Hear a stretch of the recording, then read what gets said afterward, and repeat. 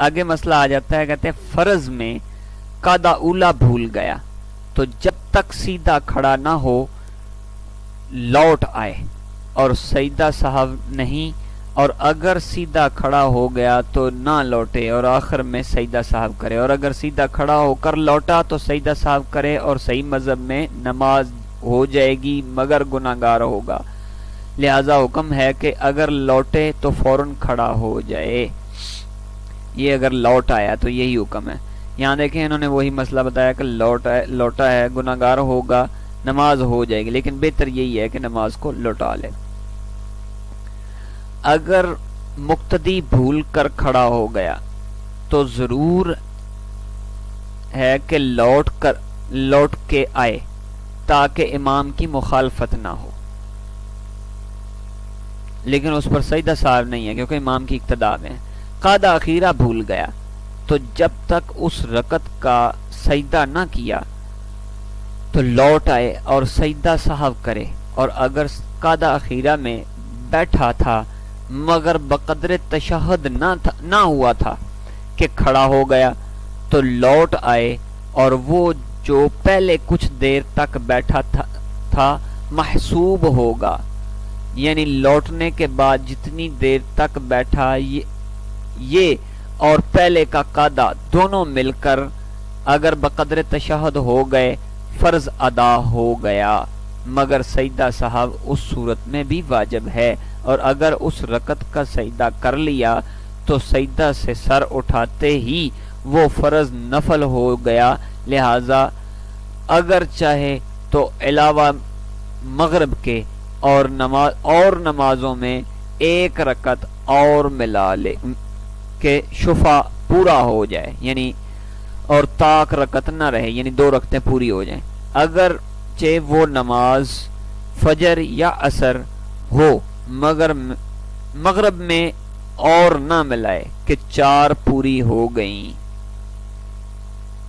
मगरब में और नहीं मिलाएगा, चार पूरी हो गई हैं, लिहाजा वो दोबारा से नमाज़ मगरब की लौटाएगा चार रखते पड़ गई, क्योंकि मगरब की नमाज़ की चार रखते नहीं तीन है। आगे नफल का हर कादा कादा अखीरा है।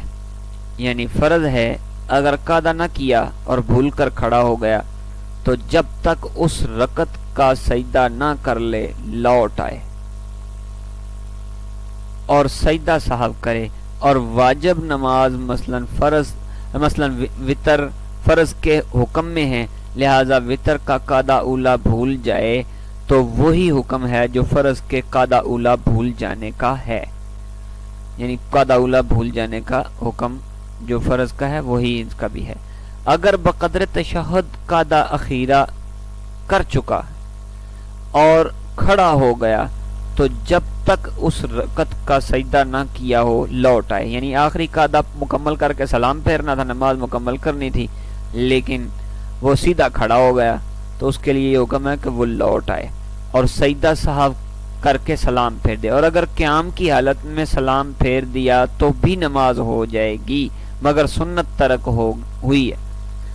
ठीक है जी? और इस सूरत में अगर इमाम खड़ा हो गया तो मुक्तदी उसका साथ न दें, बल्कि बैठे हुए इंतज़ार करें। अगर लौट आया, साथ हो लें और ना लौटा और सईदा कर लिया तो मुक्तदी सलाम फेर दें और इमाम एक रकत और मिलाए कि ये नफल, ये दो नफल हो जाएँ और सईदा साहब करके सलाम फेरे। और ये दो रकतें सुन्नत, जोहर या इशा के कायम मकाम ना होंगी। और अगर इन दो रकतों में किसी ने इमाम की इक्तदा की, यानी अब शामिल हुआ तो ये मुक्तदी भी छे पड़े। और अगर उसने तोड़ दी तो दो रकत की कज़ा पड़े, और अगर इमाम चौथी पर न बैठा था तो ये मुक्तदी छह रकत की कज़ा पड़े। और अगर इमाम ने इन दो रकतों को फासद कर दिया तो उस पर मुतलकन कज़ा नहीं है। यानी उस पर कज़ा नहीं होगी। फिर आगे कहते हैं, चौथी पर कादा करके खड़ा हो गया। और किसी फ़र्ज़ पढ़ने वाले ने उसकी इक्तदा की तो इक्तदा सही नहीं अगर चिल लौट आया। और कादा का कादा वो आ, कादा ना किया था तो जब तक पांचवी का सईदा ना किया इक्तदा कर सकता है कि अभी तक फ़र्ज़ ही में है तो आप इक्तदा कर सकते हैं। आगे कहते हैं दो रकत की नीयत थी और उनमें साहब हुआ और दूसरी के कादा में सईदा साहब कर लिया। तो उस पर नफल की बिना मकरू तहरीमी है।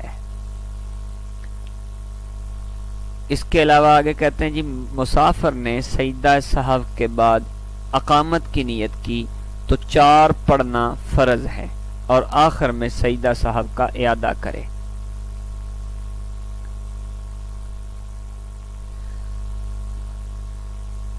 आगे है जी, कादा उला में तशहद के बाद इतना पढ़ा कि अल्लाह अला मुहम्मदिन। तो सईदा साहब वाजब है।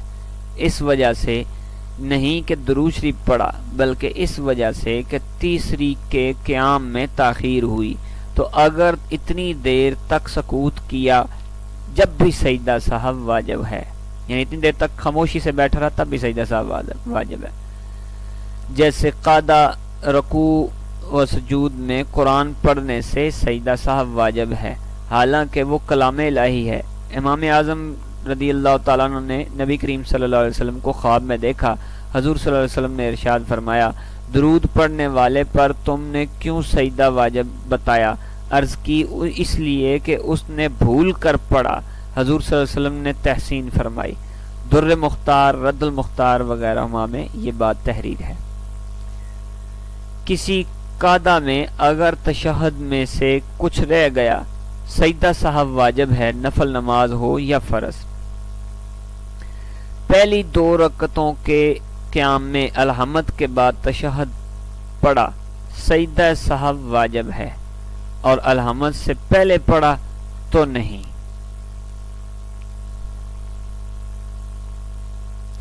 अब वो कहते हैं आगे कि पिछली रकतों के क्याम में तशहद पढ़ा तो सईदा वाजब ना हुआ और अगर कादा उला में चंद बार तशहद पढ़ा सईदा वाजब हो गया।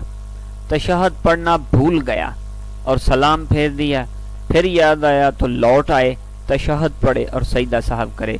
यूँ ही अगर तशहद की जगह अलहमद पढ़ी, सईदा वाजब हो गया। रकू की जगह सईदा किया या सईदा की जगह रकू की, रकू या किसी ऐसे रुकन को दोबारा किया जो नमाज़ में मकर मशरू न था, यानी शरीयत ने उसे दो मतबा ज़िक्र नहीं किया था, या किसी रुकन को मुकदम या मौखर किया तो इन सब सूरतों में सईदा साहब वाजब है। कनूत या तकबीर कनूत, यानी करात के बाद कनूत के लिए जो तकबीर कही थी, कही जाती है, सईदा भूल गया तो सईदा साहब करेगा। ईदैन की सब तकबीरें, या बाज भूल गया, या जायद कहीं, या गैर महल में कहीं, यानी मौका न था तो वहाँ कहीं, उन सब सूरतों में सईदा साहब वाजिब है। इमाम तकबीरात ईदैन भूल गया और रकू में चला गया तो लौट आए, और मसबूक रकू में शामिल हुआ हुआ तो रकू ही में तकबीरें कह ले। ईदैन में दूसरी रकत की तकबीर रकू भूल गया। तो सईदा साहब वाजिब है और पहली रकत की तकबीर तकबीर रकू भूला तो नहीं है। जुमा व ईदैन में साहब वाक़ हुआ और जमात कसीर हो तो बेहतर ये है कि सजदा साहब ना करे। इमाम ने जहरी नमाज़ में बकदर जवाज नमाज़ यानी एक आयत पढ़ी।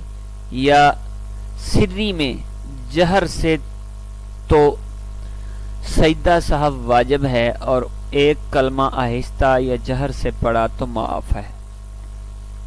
यानी जिन नमाजों में सिरी तौर पर करात करनी थी, वहाँ जहर, जहरी की और जहरी में सिरी कर ली। खामोशी से करात की तो सईदा साहब वाजिब है। अगर एक कलमा अदा किया है तो कोई हरज नहीं, नमाज़ हो जाएगी। मुनफरिद ने सिरी नमाज़ में जहर से पढ़ा तो सईदा वाजिब है और जहर में आहिस्ता तो नहीं। अकेले अगर पढ़ रहा है तो। सईद सना व दुआ तशहद बुलंद आवाज़ से पढ़ा तो खिलाफ सुन्नत हुआ, मगर सईदा साहब वाजब है। सईदा साहब वाजिब नहीं है। करात और वगैरह किसी मौका पर सोचने लगा कि बकदरे एक रुकन, यानी तीन बार सुबहान अल्लाह कहने के वक्फा हुआ, सईदा साहब वाजिब है। इमाम से साहब हुआ और साहब, सईदा साहब किया तो मुक्तदी पर भी वाजिब है।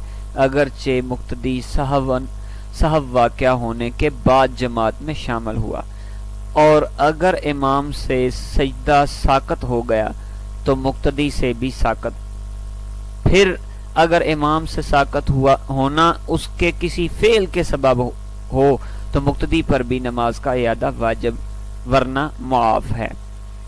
उसके बाद आगे कहते हैं अगर मुक्तदी से बहालत इक्तदा साहब वाक़ हुआ तो सजदा साहब वाजब नहीं। मसबूक इमाम के साथ सजदा साहब करे मसबूक यानी नमाज़ में पीछे रह जाने वाला।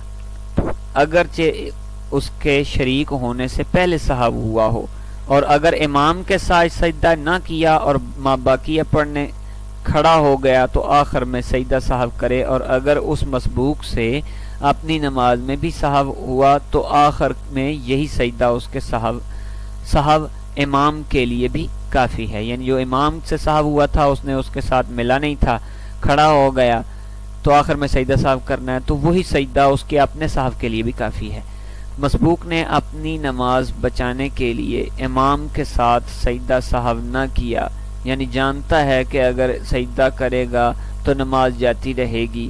मसला नमाज़ फजर में आफ्ताब तलू हो जाएगा या जुम्मा में वक्त असर आ जाएगा या माजूर है और वक्त ख़त्म हो जाएगा या मौज़ों पर मसा की मुद्दत गुजर जाएगी तो इन सूरतों में इमाम के साथ सजदा न करने में कराहत नहीं। बल्कि बकदर तशहद बैठने के बाद खड़ा हो जाए। ये इजाज़त है, यानी अपनी नमाज़ बचाने के लिए। मसबूक ने यानी पीछे रह जाने वाले ने इमाम के साहब में, इमाम के साथ सईदा साहब किया। फिर जब अपनी नमाज़ अपनी पढ़ने खड़ा हुआ और उसमें भी साहब हुआ तो उसमें भी सईदा साहब करेगा। दोबारा सईदा साहब करेगा। वो इमाम वाला सईदा उसके लिए काफ़ी नहीं। मसबूक यानी पीछे रह जाने वाले को इमाम के साथ सलाम फेरना जायज़ नहीं। अगर कसदन फेरेगा तो नमाज़ हो जा, हो जाती रहेगी। और अगर सावन फेरा और सलाम इमाम के साथ मान बिला वक्फा था तो उस पर साहब नहीं। और अगर सलाम इमाम के कुछ भी बाद फेरा तो खड़ा हो जाए इमाम पूरी करके सईदा साहब करे। यानी अपनी पूरी अपनी नमाज़ पूरी करके सईदा साहब करे। सलाम फेर दिया था एक तरफ़। लेकिन कुछ पड़ा नहीं तो फ़ौरन खड़ा हो जाए तो कोई मसला नहीं है। इमाम के एक सईदा करने के बाद शरीक हुआ तो दूसरा सईदा इमाम के साथ खड़े करे और पहले की कज़ा नहीं। और अगर दोनों सईदों के बाद शरीक हुआ तो इमाम के साहब का उसके ज़िम्मा कोई सजदा नहीं है। इमाम ने सलाम फेर दिया और मसबूक अपनी पूरी करने खड़ा हुआ। अब इमाम ने साहब सजदा साहब किया तो जब तक मसबूक ने उस रकत का सजदा ना किया हो, लौट आए और इमाम के साथ सजदा करे। जब इमाम सलाम फेरे तो अब अपनी पढ़े और पहले जो क्याम व किरात व रकू हो कर चुका है, उसका शुमार ना होगा, बल्कि अब फिर से वो अफ़ाल करे और अगर ना लौटा और अपनी पढ़ ली तो आखिर में सईदा साहब करे। और अगर उस रकत का सईदा कर चुका है तो ना लौटे। लौटेगा तो नमाज़ फासद हो जाएगी। इमाम के साहब से लाहक पर भी सईदा साहब वाजब है। मगर लाहिक अपनी आखिर नमाज़ में सईदा साहब करे और इमाम के साथ अगर सजदा किया तो आखिर में इयादा करेगा। अगर तीन रकत में मसबूक और एक रकत में लाहक तो एक रकत बिला करात पढ़कर बैठे और तशहद पढ़कर सईदा साहब करे। उसके बाद कहते हैं जी, मुकीम ने मुसाफिर की इक्तदा की और इमाम से साहब हुआ। तो इमाम के साथ सईदा साहब करे, फिर इमाम दो पड़े और उनमें भी साहब हुआ तो आखिर में फिर सईदा करे। इमाम से सलातुल खौफ में जिसका बयान और तरीका इन ताला, वो कहते हैं जी, मजकूर होगा सलातुल खौफ के अंदर। वो कहते हैं साहब हुआ तो इमाम के साथ दूसरा ग्रोह सईदा साहब करे और पहला ग्रोह उस वक्त करे जब अपनी नमाज़ ख़त्म कर चुके। इमाम को हदस हुआ और पेशतर साहब भी वाक़ हो चुका है और उसने खलीफा बनाया तो खलीफा सईदा साहब करे और अगर खलीफा को भी हालत खिलाफत में साहब हुआ तो वही सजदा काफ़ी है। और अगर इमाम से ना तो साहब ना हुआ, मगर खलीफा से उस हालत में साहब हुआ तो इमाम पर भी सजदा साहब वाजिब है। और अगर खलीफा का साहब खिलाफ से, खिलाफत से पहले हो तो सजदा वाजिब नहीं, न उस पर, ना इमाम पर। जिस पर सईदा साहब वाजिब है, अगर साहब होना याद न था और बनीयत कता सलाम फेर दिया तो अभी नमाज़ से बाहर न हुआ, बशर्ते के सईदा साहब कर ले। लिहाजा जब तक कलाम या हदस, अमद या मस्जिद से खरूज या और कोई फेल मनाफी नमाज़ ना किया हो, उसे हुक्म है कि सईदा कर ले। और अगर सलाम के बाद सईदा साहब ना किया तो सलाम फेरने के वक्त से नमाज़ से बाहर हो गया। लिहाजा सलाम फेरने के बाद अगर किसी ने इक्तदा की और इमाम ने सईदा साहब कर लिया तो इक्तदा सही है और सईदा न किया तो सही नहीं। और अगर याद था कि साहब हुआ है और बनीयत कता सलाम फेर दिया तो सलाम फेरते ही नमाज़ से बाहर गया और नमाज़ साहब सईदा साहब नहीं कर सकता। यानी भूल गया था तो नमाज़ कता की है तो कर सकता है। अगर जानबूझकर नमाज़ कता की है तो सईदा साहब नहीं कर सकता यादा करेगा। और अगर उसने गलती से सईदा किया और उसमें कोई शरीक हो, हो तो इक्तदा सही नहीं है। मतलब इमाम ने गलती से सईदा कर दिया सईदा साहब था नहीं। जिस तरह बहुत सारे आयम मसाजिद को मसाइल का पता नहीं होता तो वो सईदा कर देते हैं। तो ऐसा सईदे में अगर पीछे से मिलने वाले ने इक्तदा की है तो उसकी इक्तदा ठीक नहीं होगी। अगर सही सईद साहब सही था, उसमें इक्तदा की है तो नमाज़ में इक्तदा, मुक्तदी यानी वो गिना जाएगा। लेकिन इस सूरत में मुक्तदी नहीं गिना जाएगा। सईदा तलावत बाकी था, या कादा अखीरा में तशहद ना पड़ा था, मगर बकदर तशहद बैठ चुका था। और ये याद है कि सईदा तलावत या तशहद बाकी है मगर कसदन सलाम फेर दिया तो सईदा साकत हो गया और नमाज़ से बाहर हो गया। नमाज़ फासद ना हुई कि तमाम अरकान अदा कर चुका है, मगर बवजह तरक वाजब मकरू तहरीमी हुई। यूँ ही अगर उसके ज़िम्मा सईदा साहब सईदा साहब सईदा तलावत में तलावत हैं दोनों हैं और दोनों याद हैं। या सिर्फ़ सईदा तलावत याद है और कसदन सलाम फेर दिया तो दोनों साकत हो गए। अगर सईदा नमाज़ सईदा नमाज़ व, व सईदा साहब दोनों बाकी थे या सिर्फ़ नम, सईदा नमाज़ रह गया था और सईदा नमाज़ याद होते हुए सलाम फेर दिया तो नमाज़ फासद हो गई। और अगर सईदा नमाज़ सईदा तलावत बाकी था और सलाम फेरते वक्त दोनों याद थे। या एक जब, या एक याद था, जब भी नमाज़ फासद हो जाएगी। सईदा नमाज़ या सईदा तलावत बाकी था। या सईदा साहब करना था और भूल कर सलाम फेरा। तो जब तक मस्जिद से बाहर ना हो बाहर ना हुआ कर ले। और मैदान में हो तो जब तक सफ़ों से यानी खुले मैदान में नमाज़ पढ़ रहा था जब तक सफ़ों से मुतजावज ना हुआ हो हो आया, आगे को सजदा कर ले। सजदा की जगह से ना गुजर गुजरा तो ये सजदा कर सकता है। यानी मुतजावज ना हुआ हो, या आगे, यानी आगे को सजदा की जगह से ना गुजरा हो तो सजदा कर ले। यानी सजदा की जगह को क्रॉस कर लिया, फिर सजदा नहीं करेगा। रकू में याद आया कि नमाज़ का सजदा रह गया है और वो वहीं से सजदा को चला गया, या सजदा में याद आया और सर उठाकर वो सजदा कर लिया। तो बेहतर ये है कि उस रकू और सजूद का इरादा करे और सजदा साहब करे। और अगर उस वक्त ना किया, बल्कि आखिर नमाज़ में किया तो इन तो उस रकू और सजूद का इरादा नहीं सजदा साहब करना होगा। मतलब यह है कि रकू के बाद याद आया था आपने फ़ौरन सजदा कर लिया तो रकू दोबारा लौटाना पड़ेगा। और अगर सजदे के बाद याद आया तो सजदा किया था तो सजदा दोबारा लौटाना पड़ेगा। और अगर आपने रुकू और सजदे में याद आया लेकिन उस वक्त आपने नहीं किया तो अतहियात से कबल आपने किया।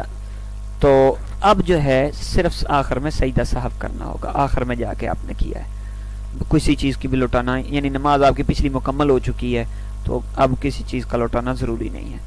जोहर की नमाज़ पढ़ता था और ये ख्याल करके चार पूरी हो गई। दो रकत पर सलाम फेर दिया तो चार पूरी कर ले और सईदा साहब करे। और अगर ये गुमान किया कि मुझ पर दो ही रखते हैं, मसलन आपने को मुसाफर तस्वर किया, या ये गुमान हुआ कि नमाज़ जुमा या नमा नया मुसलमान है समझा कि जहर के फ़र्ज़ दो ही हैं। या नमाज़ इशा को तरावी तस्वर किया तो नमाज़ जाती रही। यूँ ही अगर कोई रुकन फौत हो गया और याद होते हुए सलाम फेर दिया तो नमाज़ आ, तो नमाज़ गई। जब शुमार रकत में शक हो जाए यानी रकतें शुमार की उनमें शक हो गया तो शक हो जाए रक्तों को शुमार करने में। मसलन तीन हुई या चार और बलूक के बाद ये पहला वाक़ है तो सलाम फेर कर या कोई अमल मुनाफी नमाज़ करके तोड़ दे या गलब गुमान के बमूजब पढ़ ले, मगर बहर सूरत उस नमाज़ को सिरे से पढ़े। महज तोड़ने की नीयत काफ़ी नहीं। यानी भूल गया है, साफ़ हो गया है। और ये बलूक के बाद का ये पहला वाक्य है तो उसके लिए ज़रूरी है कि वो नमाज़ को असर न पड़े ठीक है जी? और अगर ये शक पहली बार नहीं, बल्कि पेशतर भी हो चुका है, इससे पहले भी उसको होता रहता, शक हो जाता है। तो अगर गालिब गुमान किसी तरफ़ हो तो उस पर अमल करे, वरना कम की जानब को इख्तियार करे। यानी नया नया अभी बालिग हुआ था, ठीक है जी, अभी अब बलूगत की उम्र को वो पहुँचा था या पहुँची थी तो ऐसी सूरत में उस मर्द और औरत के लिए लाजम है कि भूल गया है तो नमाज़ दोबारा लौटाएगा। लेकिन आगे उसकी आदत ही बन चुकी है, यानी अक्सर भूल जाता है। तो पहले भी वो भूलता रहता है। बालग होने के बाद की बात है। यानी अक्सर वो भूलता रहता है तो ऐसी सूरत में वो गालब गुमान की तरफ़ जाएगा। तो उस पर अमल करे, वरना कम की जानब को इख्तियार करे। यानी तीन और चार में शक हो तो तीन करार दे, और दो और तीन में शक हो तो दो। अला हाजल क्यास, इसी तरह और तीसरी, चौथी, दोनों रकतों, दोनों में कादा करे। कि तीसरी रकत का चौथी होना मुतहमल है और मुहतमिल है। और चौथी में कादा के बाद सईदा साहब कर, करके सलाम फेरे और गुमान गालब की सूरत में सईदा साहब नहीं। मगर जबकि सोचने में बकदर एक रुकन के वक्फा किया तो सईदा साहब वाजिब हो गया। यानी अब तीनों तीन रखते यानी तीसरी रकत के बाद भी बैठकर अतहियात बैठे। हो सकता है कि ये चार हो, चार भी हो, मैंने चार पढ़ ली हैं। आपने वैसे तो तीन पढ़ी है ना आपके गुमान के मुताबिक।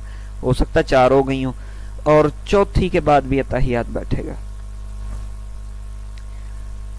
और उसके बाद वो कहते हैं कि, गालब गुमान की सूरत में सईदा साहब नहीं है, मगर जबकि सोचने में बकदरे एक रुकन ठहरा रहा तो सईदा साहब करेगा। नमाज़ पूरी करने के बाद शक हुआ तो उसका कुछ एतबार नहीं। और अगर नमाज़ के बाद यकीन है कि कोई फ़र्ज़ रह गया, मगर उसमें शक वाकया है, शक है कि वो क्या है तो फिर से फ़र्ज़ पढ़ना फिर से पढ़ना फ़र्ज़ है।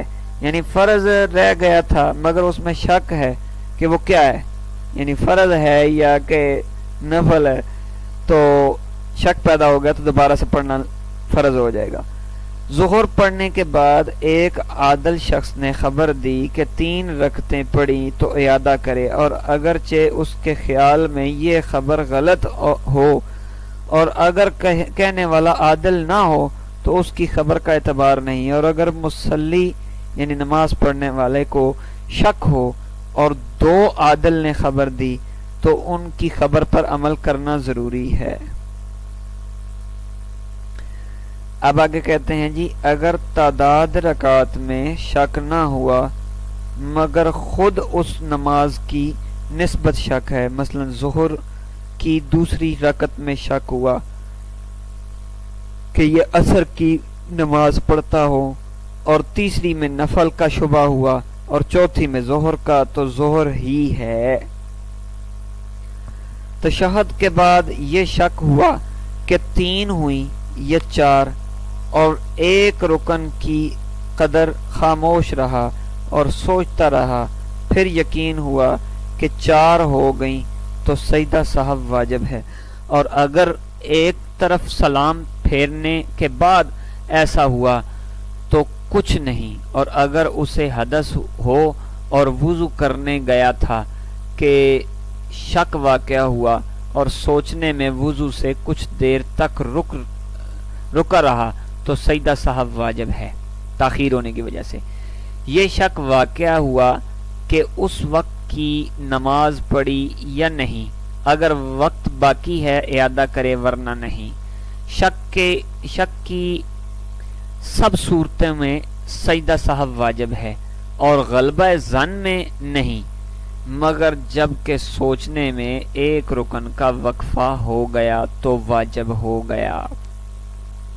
बेवुजू होने या मसा ना करने का यकीन हो, हो और उसी हालत में एक रुकन अदा कर लिया तो सिरे से नमाज़ पढ़े। अगरचे फिर यकीन हुआ कि वज़ू था और मसा किया था। नमाज़ में शक हुआ कि मुकीम है या मुसाफर तो चार पढ़े और दूसरी के बाद कादा ज़रूरी है।